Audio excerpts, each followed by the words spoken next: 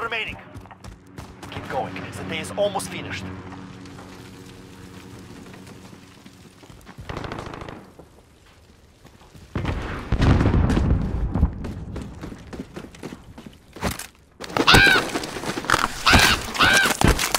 Bit with this stupid bro. missile ready to launch.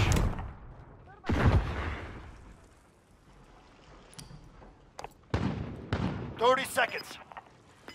We are out of time. Move.